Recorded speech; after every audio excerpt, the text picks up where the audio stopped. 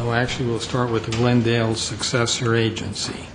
May we have a roll call for the successor agency? Board members, Friedman. Here. Manoukian. Najarian. Here? Cooper. Here. Chair Quintero. Here. May we have your report? Agenda for the October 23rd, 2012 special meeting of the successor agency was posted on Thursday, October 18th, 2012, on the bulletin board outside City Hall.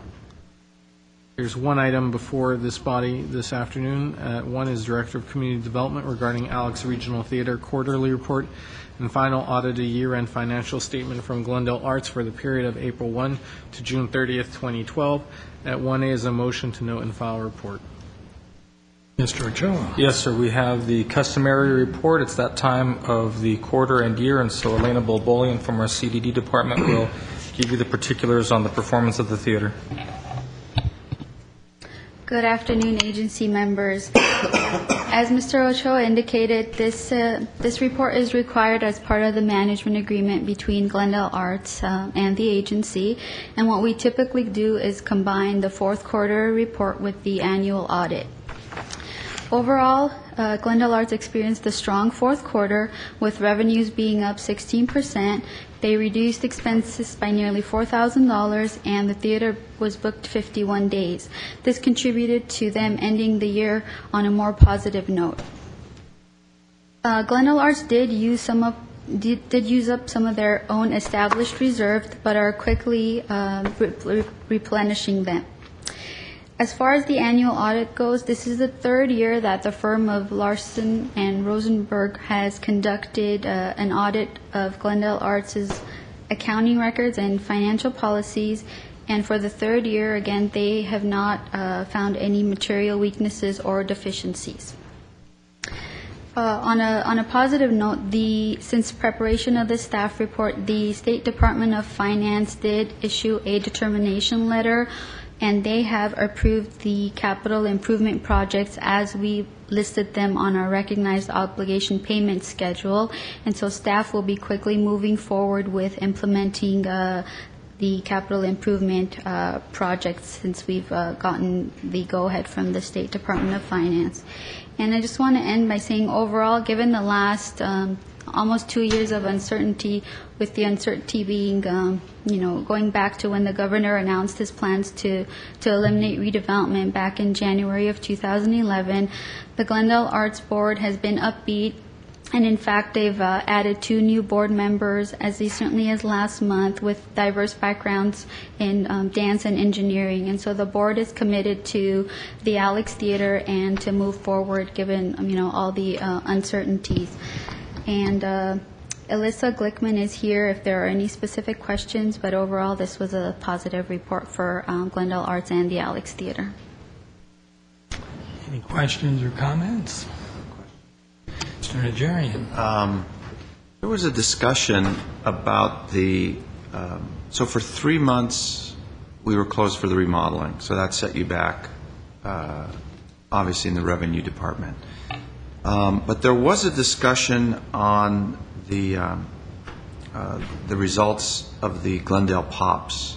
Was that a drain? I mean, was that a negative that, was it an ultimate negative, or what was the? I'll answer briefly, and Alyssa can certainly add, but essentially, the, the reserves were set up as part of the management agreement specifically for that reason, and so that if they do take on a programming event, if there are any losses incurred, Glendale Arts basically pays itself back out of those reserves as opposed to coming back to the agency to seek, to seek funding. And so the reserves were established for that reason, and um, you know, part of their facility fees go directly into um, replenishing those reserves. Okay.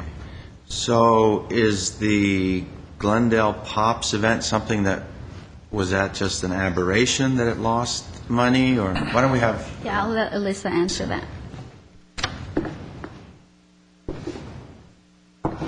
Members of the agency. I'm Elisa Glickman. I'm the CEO of Glendale Arts, and I'm also the executive producer of the Pops Orchestra. So I could probably speak a little bit um, to your question. Um, the Pops was launched last year, and as with any new endeavor, they're expensive to get going. We also did two free concerts at the Americana at Brand to sort of get the Pops up and running and introduce the organization to the public. We raised about $120,000 in sponsorship revenue to cover some of the expenses in addition to ticket sales. But obviously, with any new endeavor, you have additional expenses associated to it. On the Glendale art side specifically, the Pops did lose some actual money.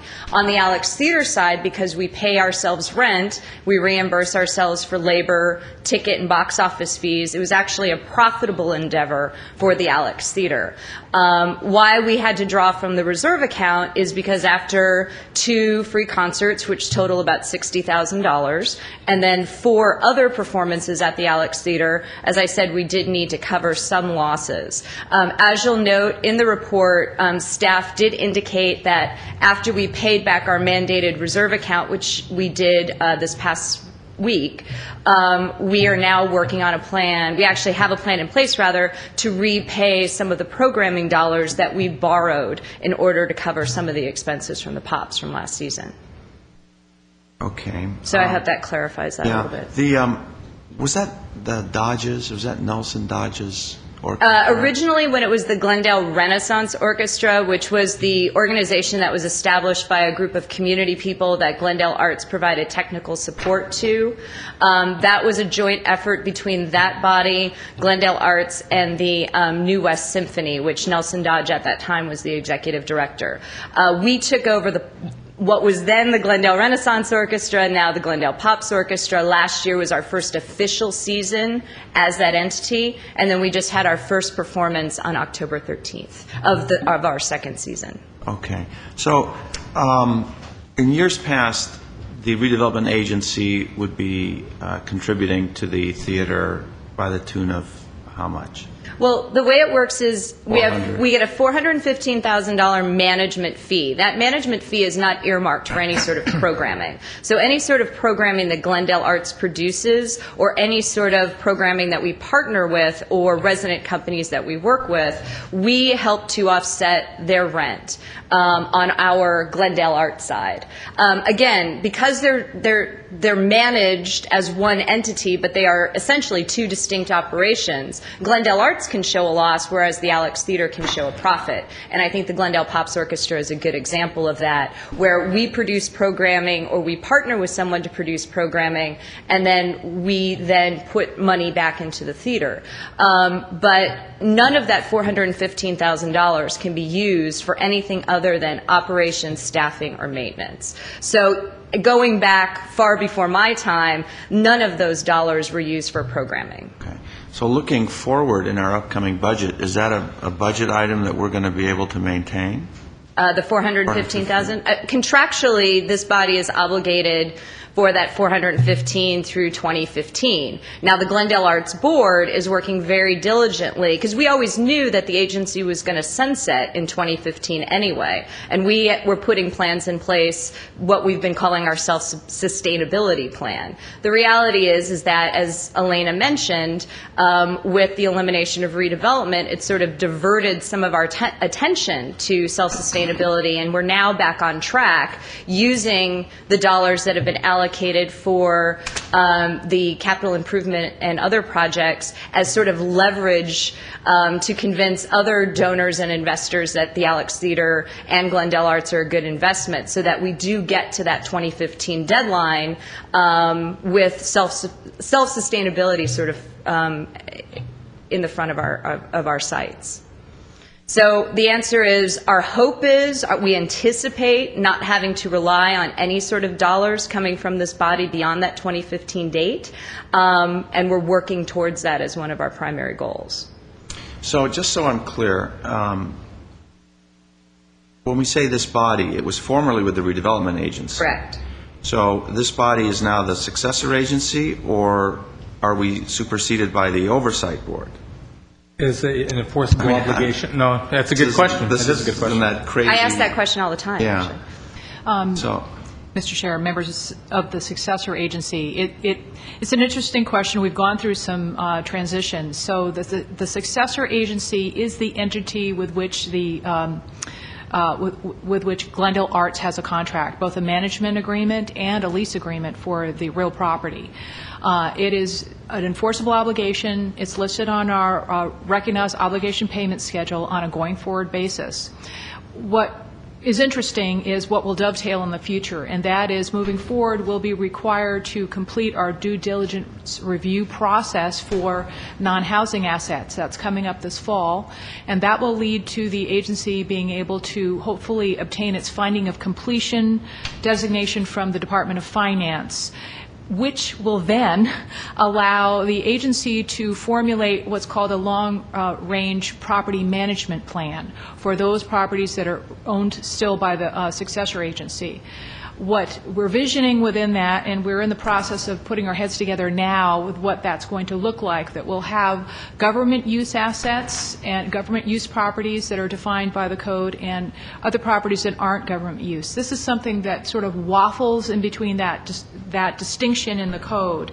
Uh, And so the hope is that we will create a plan that'll dovetail with a plan that we already have to wrap up our agreements with, by 2015, and that uh, Glendale Arts and the Alex Theater will become self-sustaining at that point. So there is some work yet to, to occur with that, with regard to that, and some unknowns based on the processes that we have yet to complete as required by AB 1484.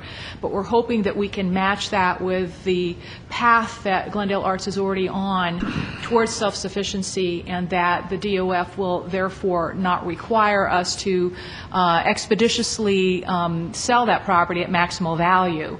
And in fact, that particular provision of AB 1484 is uh, suspended at this point in time, pending the completion of finding of completion uh, and pending the approval of this long-range property management plan. So those are some of the things that we're looking forward to that we think this may fit within.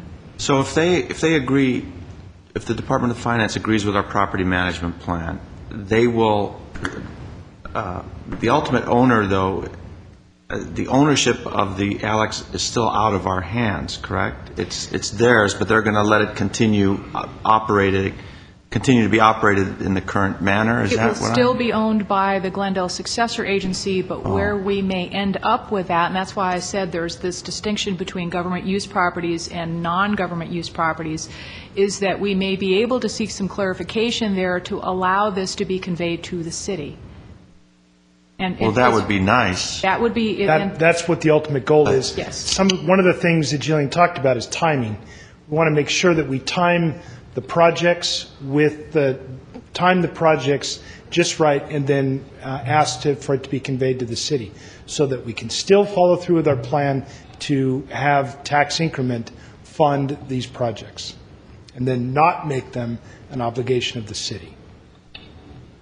Okay, I'm, you know, Think I feel sorry for everyone that's working so hard with, uh, with these issues. I mean, it's hard enough running a theater and a community asset, but with the uncertainty that the state throws in, uh, also makes it very difficult. So I feel for your, That, that's, that's, that's a very astute um, commentary, and I appreciate that. And I have to let you know, and, and Elena did point out that our staff and our board um, is frustrated, but they're enthusiastic. I mean, we really see this as an opportunity, and I think our fourth quarter numbers really reflect the hard work and, and what you'll see in our first quarterly report in terms of the fact that we did turn a profit for the first time in our first quarter in about two or three years. So I think that you will really see our staffs and our board sort of rededication and recommitment to making sure that we hit that 2015 mark um, with that financial sustainability that we had all been and trying to get to for so long. So I think that um, while it is frustrating and it is a huge challenge for all of us,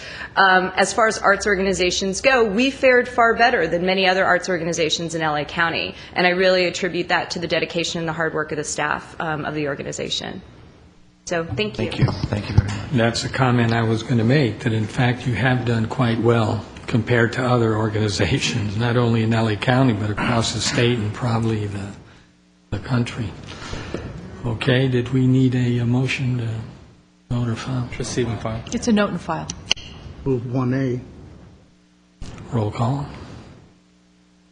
Board members Friedman, Yes.